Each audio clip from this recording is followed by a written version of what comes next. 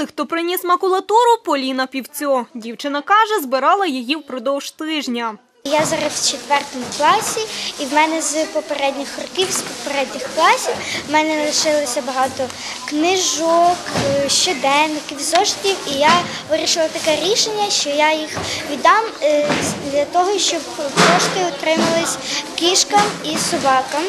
Ще один учасник акції Андрій. Хлопець розповідає, приніс 100 з газет, які читає його дідусь.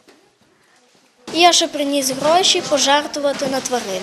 За 261 кілограм макулатури підприємство з утилізації відходів заплатило 1305 гривень, розповідає керівниця цього підприємства Зоряна. Е, Взагалі вся макулатура поділяється на 13 видів.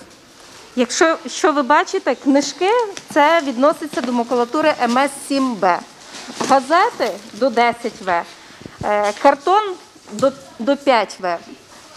Зараз ця макулатура приїжджає на підприємство, і наші працівники сортують в залежності від виду і пресують. І в залежності від того, яка марка макулатури, чи це є гофроящик, чи це є відповідно газетка чи книжка, відправляємо на той чи інший завод. І з нього в результаті, як з частини сировини, виготовляють чи гофрокартон, чи серветки, чи книги. Координаторка акції Олена Мудра розповідає, за виручені гроші придбали два 10-кілограмових мішки кормів. Їх вони передадуть родинам тернополян, які мають багато котів.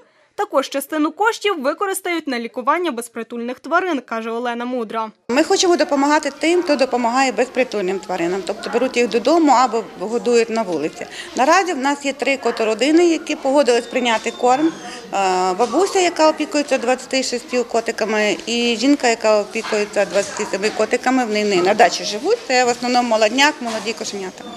Ось і ще є в Зборові також жінка, яка бере на перетримку е, кіцьок після стерилізації. Один мішок корму волонтери відносять 78-річній тернополянці, яка доглядає за безпритульними тваринами.